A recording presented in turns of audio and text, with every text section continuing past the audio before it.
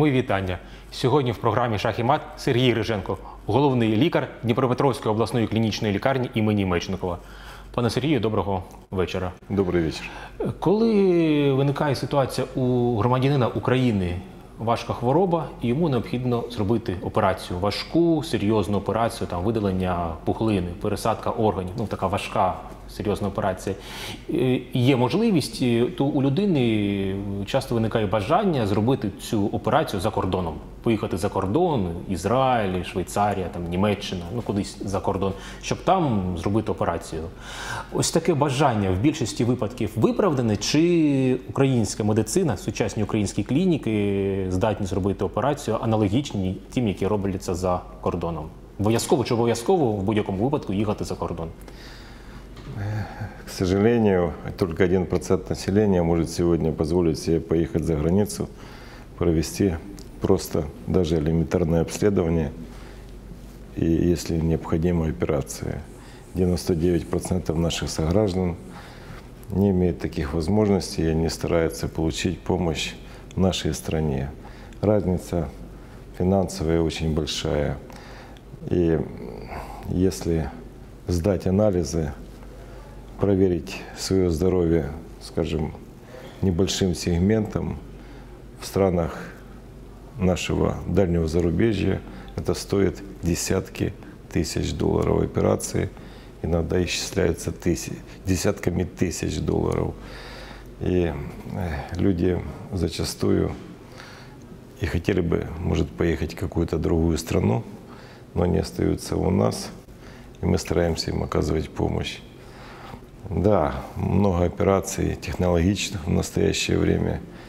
И в больнице Мечникова мы стараемся это наладить. Однако есть расходники, которые стоят и 200 тысяч, и 250. И зачастую простому гражданину Украины, жителю Днепропетровской области или Днепра это не под силу. Хотелось бы, чтобы вот именно вот эти инструменты, которые необходимы для операции, были защищены. Мы получали это все с бюджета, и человек, которому необходима операция, не делал выбор покупать самолет, платить десятки тысяч долларов за границей или провести эту операцию у нас. Очень важно себя чувствовать в родных стенах. И каждый из наших пациентов, когда понимает, что он дома, что к нему придут родственники, у него совершенно другой настрой. А наша задача сделать все необходимое вместе с властью, чтобы обеспечить этого человека теми инструментами и лекарствами, которые нужны для операции. В настоящее время этого нет. Мы единично можем какие-то лекарства или какие-то инструменты, которые получаем из бюджета, предложить. Зачастую нашим пациентам приходится это покупать за свои деньги. Ну, в будь-якому випадку аналогічні, ну там схожі операції, де необхідно і купити якийсь там елемент, там хірургічний, тощо. Е, Аналогічні операції в Україні і там, за кордоном. возможно. Я могу Там будет привести набагато пример, привести дороже. пример, даже небольшая лапароскопическая операция, э, допустим, по удалению желчного пузыря за границей стоит больше 10 тысяч долларов, а у нас она стоит только медикаменты, э, которые необходимо. Ну, некоторые еще там делают расчеты, они как-то стараются э, поблагодарить врача бутылкой или Це ну, традиційно вся- всякое, всякое бывает, я понимаю, ну вот все сравнение 10-15 тысяч долларов, ну и, скажем, 2-3 тысячи гривен. Вся разница э, в проведенной операции. І вона а гарантована исход такой же самый. Буде, гарантовано буде якісною. Да, тобто она- ті она самі бу- лікарі, ну, она- навички. Она же она будет также сделана по тем же протоколам с, с помощью тех же технологий, как это проводится за границей. Но за границей все будет гораздо дороже. Різні лікарні, які існують там в місті, в області, ну різну мають специфікацію. Там десь нейрохірургія, десь там урологія, десь там сердево-судинні захворювання лікують. Щодо лікарні Мечнікова, які напрямки превалюють там, і з якими хворобами пацієнт краще йому йти саме до Мечнікова, лікувати, оперувати? Ось які напрямки найрозвинніші ну, там, в, в області? В Мечникова 40 отделений, которые оказывают медицинскую помощь по направлениям, по специальностям, начиная от терапевтических, заканчивая сложными хирургическими. Конечно, сегодня со всей Украины едут люди, чтобы прооперироваться в нейрохирургические наши клиники, э, ЛОР, потому что специалисты высокого класса, имеющие аппаратуру, проводят эти операции зачастую получше, чем некоторые институты. Мы это ценим. И хирургические отделения, которые делают операции лапароскопическим методом, отпускают больного на следующий день домой, сегодня показывают очень высокий уровень своей работы. 20 тысяч операций в год. И мы в этом году уже сделали около 5 тысяч операций такой- Лапароскопічні це без е, это два, такого. это два прокола, которые позволяют провести операцию, по сути, бескровно, и больной, как правило, через день уходит домой. Це Такие стосовно операции тулубу, да? там кишково-кишечний тракт, там не ще- только, это Ну, все нейрохірургія, ще е, направления. лапароскопічна. Нейрохирургические операции тоже делаются Лапароскопично можно лапароскопическим методом. Сегодня вся медицина высокотехнологичная идет по именно методу бескровных операций, которые позволяют быстрее восстанавливать наших больных. Вот нейрохирургия, допустим, с применением специальных аппаратов, которые позволяют по сосудам пройти в головной мозг, ангиографы. И очень важно, чтобы эти технологии, которые сегодня уже работают в мире в полном объеме, приходили к нам. Это и роботы да Винчи, это э, хирургические операционные нового типа, в которых есть все элементы безопасности, которые должны быть в здравоохранении. Ви кажете про роботи, про технологічні, про різні медичні прилади. Їх має купу- купувати держава, ну так визначено Конституцією, там без, безплатна медицина має купувати держава. Іноді, ну це так називають скритим е, прихованим податком, коли там. Е, лі- Лікується, йому там внесуть туди, туди. Ну хтось це добровільно робить, хтось це не робить. Е, Але є, є така практика. Тим не менш, є ну, заможні люди, які мають вага велику кількість вільних грошей. І вони можуть допомагати. Є практика, що люди з вільними грош, грошима допомагають не медикаментами, ну медикаментами це не так помітно, а якимись приладами, дорогими приладами, які потім стають в нагоді для лікування. Є така практика Да. у Меченкова. Да, очень много аппаратуры в больнице Местника, особенно следящей, э, куплены именно меценатами, которые сегодня беспокоятся за здоровье раненых, за здоровье больных. И буквально два дня назад фонд «Солидарность», э, бизнесмен Вячеслав Капустин передали в больницу Мечникова анги- э, стойку лапароскопическую, три электрокардиографа, которые позволяют быстро не- снимать э, все показатели сердца. Э, И сегодня я знаю, что они закупили в Германии 20 кроватей, которые приходят в Днепропетровск именно для больницы Мечникова. Це не просто ліжка, це спеціальні медичні Это ліжка. специально, там, да, ко- в которых поднимается все части. Можно больного положить в любое положение, необходимое для выздоровления, для реабилитации.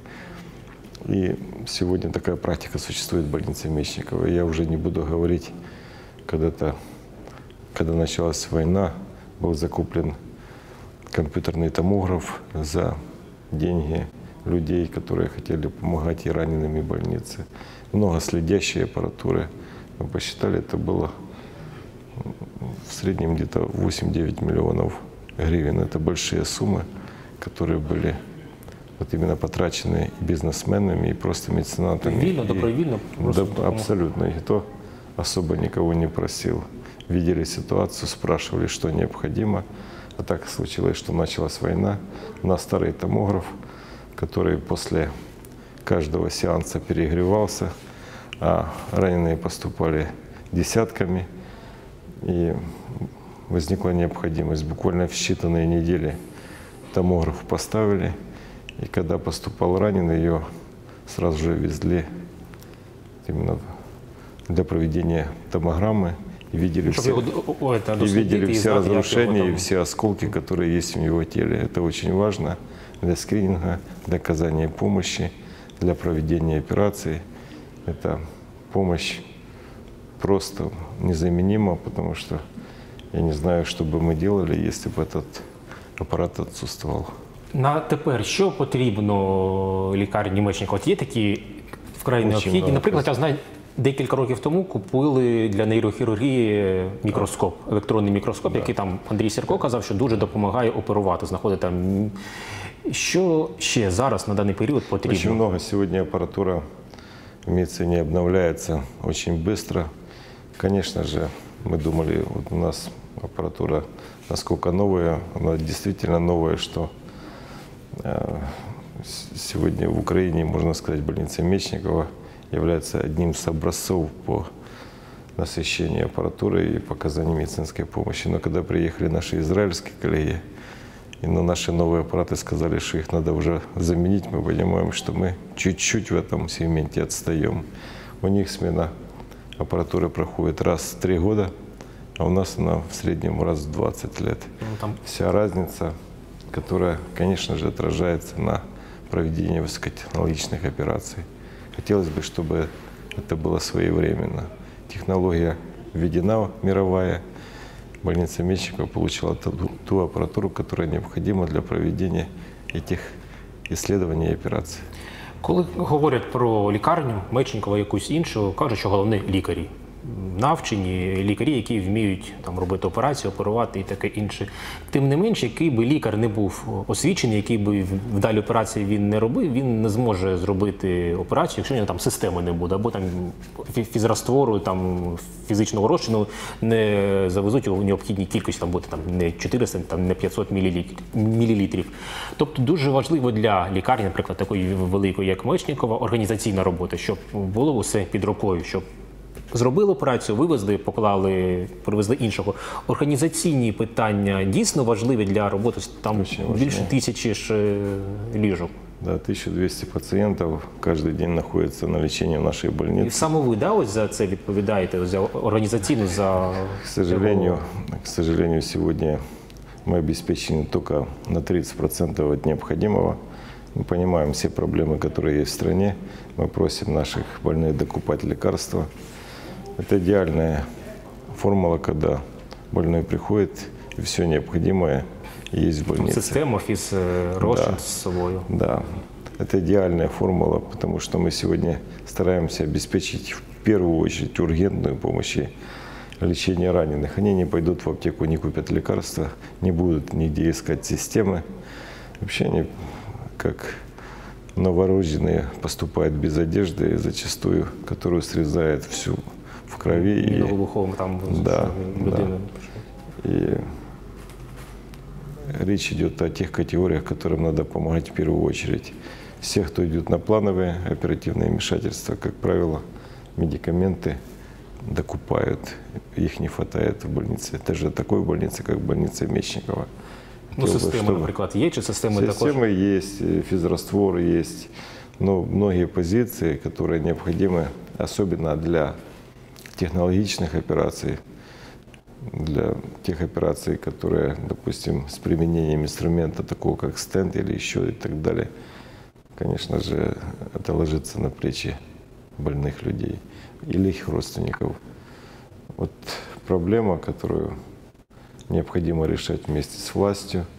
Нам всегда шли навстречу. Я полагаю, что новое, новое руководство области, новое руководство страны будет уделять вопросам здравоохранения гораздо больше, потому что они в первую очередь дают деньги больным людям и дают возможность им выздороветь. Это большое вложение.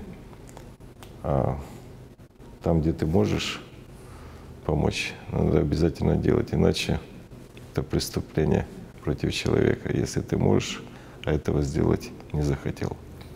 Коли дивимося сюжети про лікарню Мечников, про інші лікарні, найчастіше героями стають лікарі, які провели успішну операцію, які зробили, які допомогли. Ну, переважно це в більшості лікарі, ну, лікарі, які оперують чи практикуючі лікарі.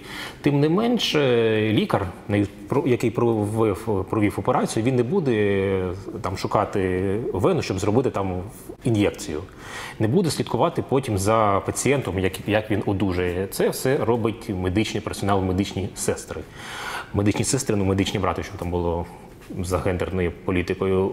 Важлива роль медичної сестри, медичного працівника ось такого рівня по одужанню і по лікуванню Это как минимум 50%. Удачно сделанная операция – это только- только 50% по выздоровлению. Всю основную ношу по выхаживанию берут на себя медсестры.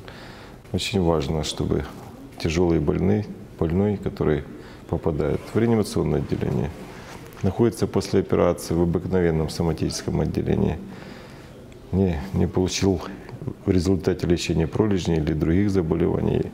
И от сестры зависит дальнейшая его судьба, сколько он будет находиться. Зачастую и застойная пневмония, от того, что человек лежит. За- Зачастую и гнойно-воспалительные инфекции присоединяются к таким людям, они ослаблены, у них потерян иммунитет, и роль сестры сегодня стоит не менее, чем роль опытного хирурга, который проводил это оперативное вмешательство. К сожалению, мы пока в государстве не можем оценивать достойно работу медсестры, потому что заработная плата, которую сегодня предлагают для среднего персонала, она просто унизительная, и только 200 медсестер за последние полтора года уехали за границу, ушли в частные клиники. Это опытные, это красивые, это образованные сестры, которые являлись таким, знаете, алмазом больницы Мечникова, сегодня уехали на заработки в другие страны, чтобы прокормить свои семьи. И вот недавно спрашиваю одну сестру, она увольняется, она 20 лет проработала в Мечниково, и просто она говорит, что моей дочке надо идти в университет, у нее нет одежды, нет спортивного костюма, и просто необходимость сегодня заработать какие-то деньги за границей, где предлагают 700-800 евро, вот со старта, вот таким опытным сестрам, которые есть сегодня в больнице Мечникова. 20 років це дуже цінний кадр. Це людина, яка 20 років там робила уколи, робила свідково, вона знає, ну це дуже цінний кадр. Як його втрачати? Ну це К як сожа- Чому? К сожалению, к сожалению, этот процесс остановить очень трудно. Мало кто рассказывает о этих проблемах, они очень болезненны. Но сегодня большинство больниц нашей страны, начиная от запада до востока, потеряли медицинский средний персонал. Они уехали и в Польшу, и в Венгрию, и в Чехослов- и Чехию, и в Ну, Словакию. там у фармакологію пішли працювати, Да. там в аптеці Да. більше платять, ніж у Ну, лікарні. и, э, и в клинике, и по уходу, и в разные направления э, медицинского характера для того, чтобы только обеспечить своих близких и родных. Здесь у нас были случаи, когда медсестра, которая работает в операционной, говорила, можно я останусь на работе, потому что у меня нет денег доехать домой. Когда мы оставались допоздна, когда надо было принимать раненых, ну, просто говорила, вот такая ситуация складывалась. Ну а як можна вирішити? Як е, механізми Це, е, механізми впливу рішення, на це- владу, на це- більше платити податків? Это, Що робити? это только государственный масштаб, где примется решение повышения заработной платы медикам, это медсестрам, врачам. И тогда уже будет какой-то прогресс в плане стабилизации кадров. В любом другом случае мы завтра, сегодня мы ищем медсестер, мы не стесняемся, мы их ищем. Тобто вам потрібні медичні Да. Мы можем сегодня предложить 200 ставок, 200. Такого никогда в больнице Мечникова не было. Це обласна лі... найкраща Да, лікарня. да, да. Що там про інші казати, про районні. И потихонечку идет отток врачей опытных, которые себя проявили как хорошие хирурги, как хорошие травматологи. Их также начали приглашать за границу. Мы боимся этого, хотя воздействовать по большому счету никак не можем, потому что главная причина выезда специалистов – это денежная компенсация, денежное вознаграждение, которое мы предложить сегодня не можем. Ну, можна не давати там аналогічні е, заробітні плати, але там вирухувати, скільки вони витрачають там, там вирухувати там від, рі- від родини, ну просто платити не трошки, а більше. Я думаю, что это государственная проблема, и если наши руководители страны, парламента ее не решат, мы полностью потеряем медицинский Тобто лікуватися буде ніде. ми- Да, мы, Буде корпус, как буде- Мы, мы будем ездить, как стараться за границу, чтобы получить какое-то назначение, какое-то лечение, э, потому что сложилась в настоящее время трагедия по медицинскому персоналу, потому что закрывать смены некому. Бывает такое, что медсестры нет, врач выходит на ночную смену и производит инъекции, делает Врач, який оперував, який Да, практикуючий хірург. должен быть кто-то, который присмотрит за больными. Есть такая проблема, есть и надежда, что ее обязательно мы решим. Я написал не одно письмо и исполняющему обязанности министра, и нашему бывшему руководителю области и руководителю областного совета, но пока никаких просто ответов написали. не получил. Є така стаття, я її побачив, її виклав на Фейсбуці Андрій Сірко, ваш колега, нейрохірург. Вона називається не дуже оптимістично Як помирають лікарі. Це стаття каліфорнійського лікаря, півде, пів, Південна Каліфорнія. І він описує це нім американський лікар. Він описує, що сучасні лікарі, які бачать операції, які знають е, можливості сучасної медицини, дуже деякі з них е, носять колони. Там прошу мене не реанімувати. Там наколки навіть роблять, тому що вони розуміють, що сучасно ну, з навіть в Америці з станом медицини, з можливостями можна реанімувати людину, але вона проживе не дуже довго і не так якісно, як би вона прожила. І вони просять, прошу мене не реанімувати. Є така практика, ви з тим с- стикалися? Що думаєте ось про цю? Тому що це не якісь там дурниця, це ось ну справжня стаття, Да, я її знаю, бачив. Я знаю, я читал эту статью. Знаете, у нас другой менталитет, у нас другие, другие подходы, другая религия, которая говорит о том, что до последней секунды надо давать человеку шанс выжить. Вот недавно буквально боец, которого пуля прошла через голову, и по сути надежд никаких не было. Три раза останавливалось сердце, но врачи-реаниматологи заводили с маленькой надеждой, что он обязательно выживет. Эм, Так, может, и гуманно, но я понимаю, с точки зрения финансового, неправильно. Я знаю, что в других бы странах бы давно подключали всю эту аппаратуру и сказали, нет, он уже не жилец, не надо его мучить. Славян другие подходы к погибающим. И мы стараемся в первую очередь помочь самым тяжелым. А наших коллег, которые лечат в Америке, которые лечат в Британии, у них подход в первую очередь помочь легким, которые могут выжить, а потом уже переходить на тех, кому еще можно помочь. Я не буду э, сегодня рассказывать, насколько это хорошо или плохо. Ну, Это- позиція. Это веками так сложилось, и мы сегодня делаем все возможное до последней секунды. Вот сколько можем, мы даем этому человеку лекарства и подключаем аппаратуру для того, чтобы он жил. Е, Живе людина, добре себе почуває, нічого йому не болить. Як правило, така людина ніколи до лікарні не йде. До лікарні, йде, якщо щось захво... щось заболіло, треба лікувати. Як ви порадите? Чекати, щоб щось захворіло, і йти до, лік... до лікарні, чи в періодичність там раз, два рази в рік якийсь мінімальне обстеження проходити, щоб там себе дослідити? Яку пораду В любом дадете здоровій людині?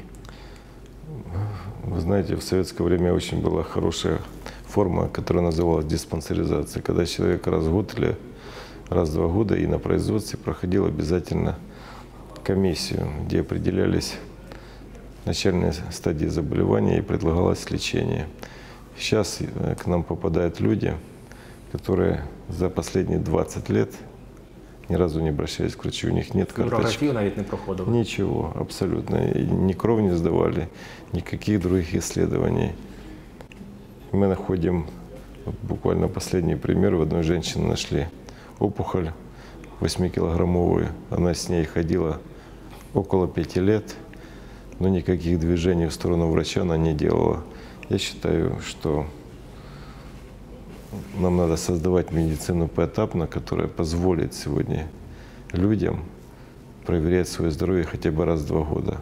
В любом другом случае мы будем сталкиваться с заболеваниями, которые надо лечить в реанимационных отделениях, так как сегодня это есть в больнице Мечника. У нас все реанимации переполнены. У нас нет ни одного свободного места, потому что привозят с районов, как правило, людей, которым необходима только реанимационная помощь.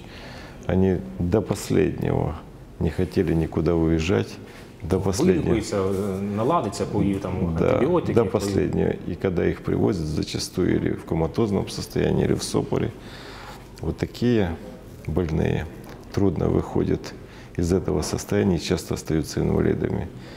Я полагаю, что мы повернемся лицом к здоровью человека, все-таки будем думать о том, как проводить профессиональные осмотры и выявлять эти болезни на ранних стадиях и лечить. Самые простые. Начнем с самого простого. Анализа крови, анализ э, мокроты, анализ мочи Все эти анализы, все эти анализы надо сдавать, потому что они показательно нам будут предупреждать о наклонности к какому-то заболеванию. І и це ж не лечить важко. его. Прийти там до сімейного лікаря, я там общий аналіз Да. крові, общий аналіз сечі. Здай, здай, і все. И Очень бы хотелось, чтобы и проводились осмотры основных врачей, скажем, э, у женщин обязательно гинеколог раз в год посмотрел мужчину, уролог, я уже не говорю о других специалистов. И, конечно, флюорограмму, эпидемия туберкулеза, эпидемия ВИЧ, СПИД. Поверьте мне, если мы не будем сегодня обращать внимание на наших людей, мы все это не остановим никогда. Е, Лікарня Мечникова вона була однією з точок, які зупинили, ну, в певній мірі зупинили російську окупацію, агресію. Вони приймали лік... е, хворих, поранених бійців, лікували, і вона допомагала і допомагає зараз там менший зараз е, потік, ніж було там у 2014 році, коли йшли активні фази бойових дій. І напередодні Дня Незалежності ми виходимо. Що ви можете сказати нашим глядачам напередодні Дня Незалежності, ну знаючи щось е, в рятуванні тої ситуації, яку ми маємо зараз? Три тысячи бойцов получили, это три тысячи раненых, тяжело раненых, которые привезли с Востока и солдаты, и офицеры, и генералы, а также мирные жители, которые получили ранения, были доставлены в больницы мечниками, оказывалась помощь. Никто их, у этих людей не спрашивал, а есть ли у вас там прописка, есть ли у вас паспорт. Мы понимали, что есть это большая беда. Эти люди защищали нашу свободу, нашу независимость. И я в первую очередь хочу поблагодарить всех, кто был на передовой. Это воистину наш праздник.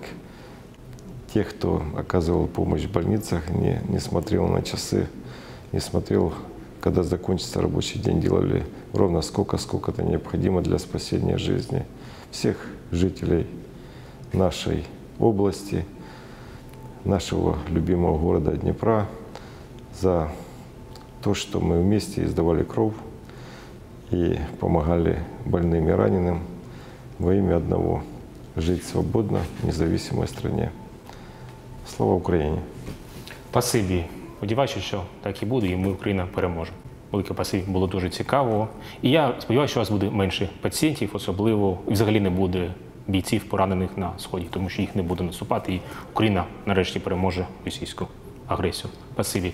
Сьогодні в гостях у нас був Сергій Риженко, головний лікар обласної клінічної лікарні імені Мечникова. На все добре, до побачення.